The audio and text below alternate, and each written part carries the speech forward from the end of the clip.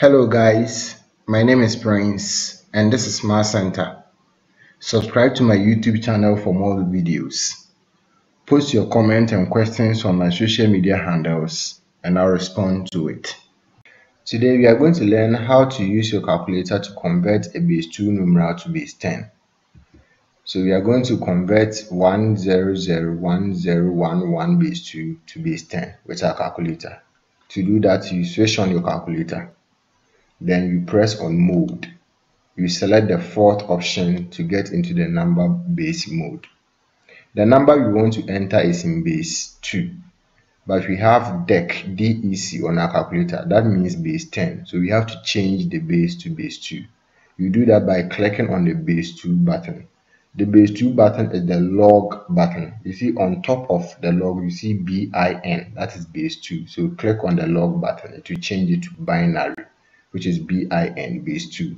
Now you enter the number we want to convert 1001011. So 1001011.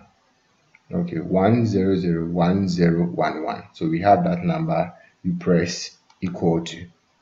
Now after you've done that, you see that we now have our number in base 2 on our calculator.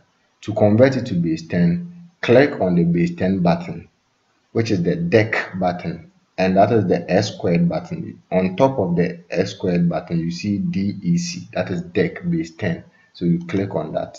And as soon as you click on that it converts the number 1010 1001011 from base 2 to base 10 and we have 75 so it means that if you convert 1001011 base 2 to base 10 you have 75 base 10 after you are done with this, don't forget to clear your calculator to leave the number base mode. So you click on shift, you click on 9, you click on 3, then you click on equal to 2 times. Thank you for watching this video. Your calculator can be of great help to you in an examination if you learn how to use it very well. If you want to learn more calculator tricks like what you just learned in this video, Subscribe to the Math Center YouTube channel. This is how you subscribe to the channel. Log on to YouTube and search for Math Center. When the channel opens, click on the subscribe button that you see. If you subscribe to the channel, you have access to all the videos that are available on the channel. Bye bye.